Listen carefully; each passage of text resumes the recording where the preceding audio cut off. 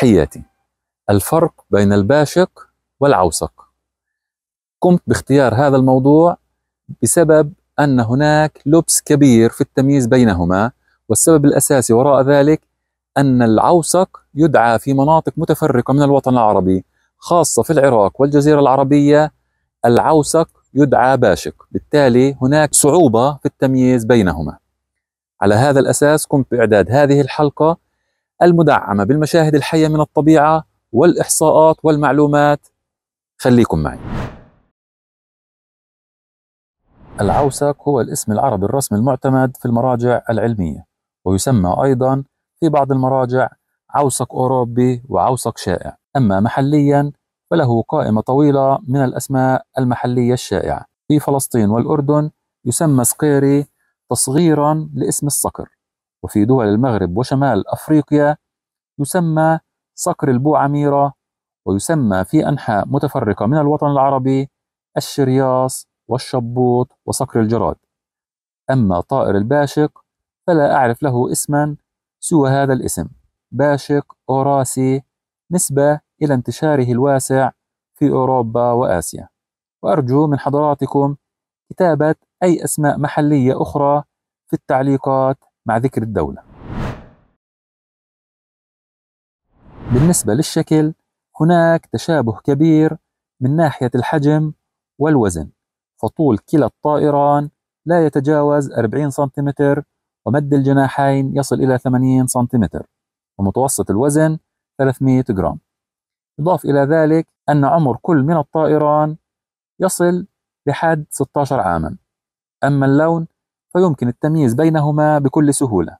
فالعوسق يغطي جسمه ريش بني بدرجات متفاوتة مع نقاط سوداء تنتشر على أجزاء الجسم المختلفة.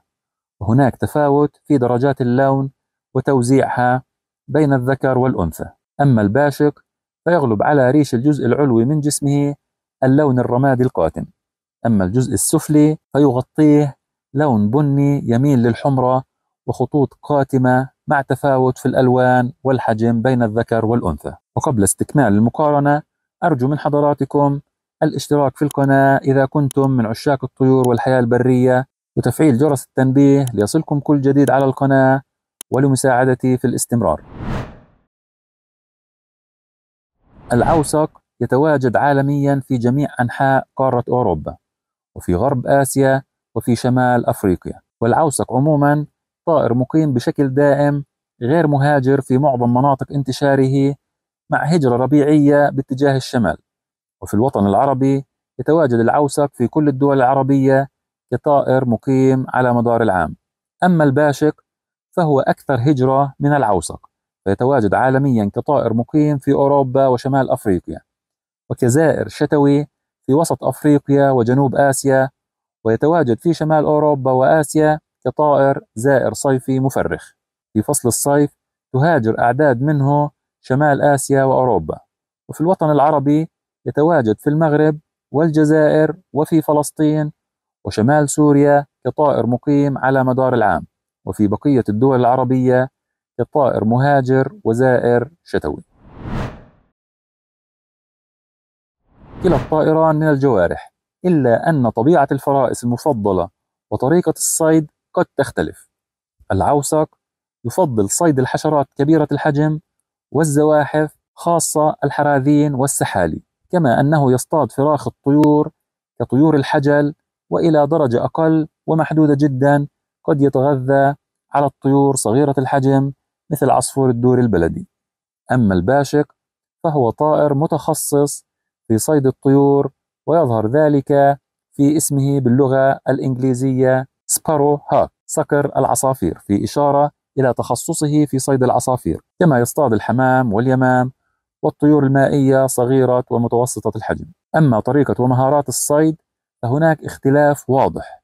يصطاد العوسق فريسته بطريقة مميزة حيث يتوقف في الهواء محلقا بجناحيه ويقوم بعمل مسح جوي للمنطقة المستهدفة. وبعد رصد الفريسة ينقض عليها ويصطادها ثم يحملها إلى مكان آمن لتمزيقها بمخالبه الحادة ومنقاره المعكوف المصمم لمثل هذه المهمات. أما الباشق فيمتلك مهارات صيد في الجو تختلف تماما عن العوسق حيث يطارد فرائسه في وضع الطيران. بالإضافة إلى قدرته على مطاردة الفرائس في المناطق المفتوحة فإنه يتميز بقدرة عالية على مطاردة فرائسه في المناطق الشجرية والغابات. حيث يمتلك قدرات استثنائية على الطيران والمناورة بين أغصان الشجر لمطاردة الطيور المغردة والطيور صغيرة الحجم. يعشش العوسق في المناطق المرتفعة حيث يضع عشه في الجروف الصخرية المرتفعة التي يصعب الوصول لها وعلى الأشجار المرتفعة مثل شجر السرو والكينة. كما يعشش في المناطق الحضرية على نوافذ البيوت المرتفعة والفتحات العمرانية المهجورة وعادة يضع من ثلاث إلى ست بيضات في الموسم الواحد. أما الباشق فيعشش على الأشجار متوسطة الارتفاع مثل أشجار الزيتون ويأتي عشه على شكل دائري من أغصان الشجر وعادة ما يضع من بيضة إلى ثلاث بيضات. كلا الطائران عرضة للصيد الجائر بغرض التجارة إلا أن الباشق أكثر استهدافا لندرته ولقدراته العالية على الصيد حيث يستخدم في رياضة وهواية الصيد باستخدام الطيور. لمشاهدة فيديو كامل عن الباشق شاهد هذا الفيديو وللتعرف على كل شيء عن العوسق شاهد هذا الفيديو. إلى اللقاء.